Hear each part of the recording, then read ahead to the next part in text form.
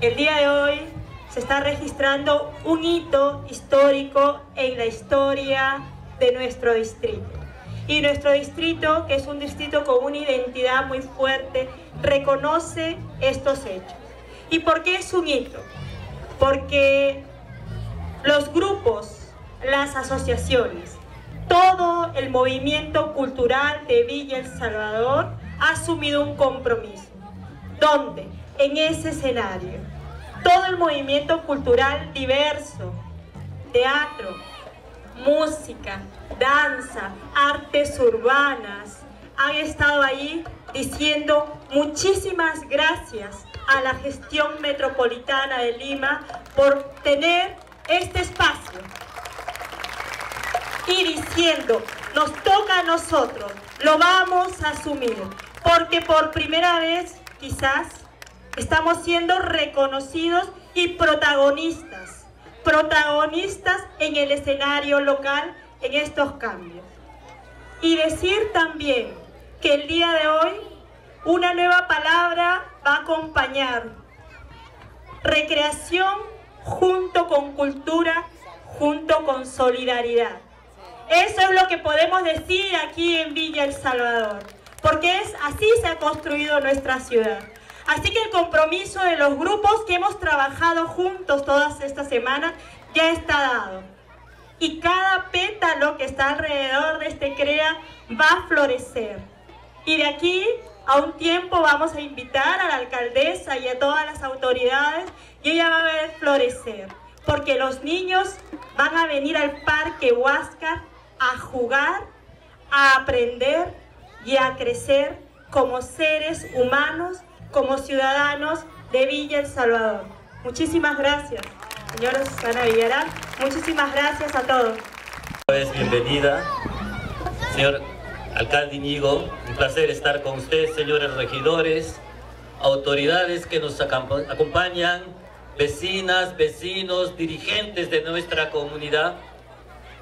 Creo que este momento cuando los cuerpos danzan, cuando las voces cantan, nos enraizamos, nos enraizamos más con esta voz de Pachacamac que hemos escuchado durante toda esta mañana. Y seguramente ha movido todas nuestras raíces y estos árboles deben estar recibiendo esta energía humana, que me parece fundamental encontrar este concepto donde la cultura, los derechos culturales dialogan con los derechos ambientales. Eso me parece fundamental heredar a nuestros jóvenes, a nuestros niños.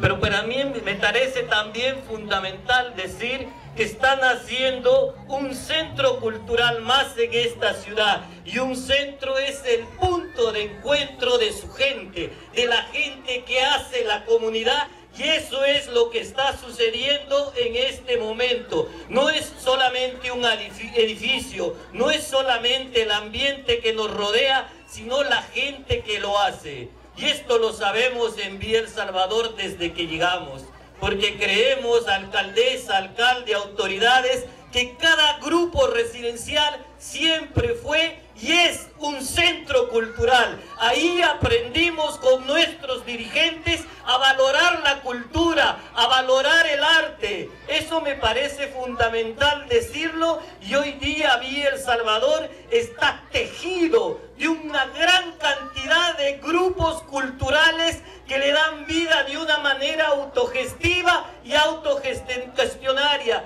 Y hoy este centro cultural se suma a ello. Y me parece también importante el aspecto ambiental porque está conectado sobre todo a las mujeres de nuestra comunidad. Yo quiero aquí en este espacio recordar a muchas mujeres ambientalistas que empezaron este parque industrial y muy en particular en Clorinda Bonifaz, la madre del, del regidor Rafael Cumpín, que fue una de las pioneras de lo que es la actividad ambiental de parte de las mujeres, porque son las mujeres las que nos enseñan a cuidar los árboles y las plantas. Y quiero terminar esto porque me conmueve mucho que hay un espacio aquí que es la biblioteca que lleva el nombre de nuestro querido padre Eugenio Kirke, para quien realmente pido un voto de aplausos porque es nuestro símbolo de la cultura en Villa El Salvador. Nuevamente gracias porque es una sorpresa más. Hemos pasado del, del Museo Paleontológico a este Museo CREA. Gracias Municipalidad de Lima y esto no puede parar. Gracias. Fueron las palabras de...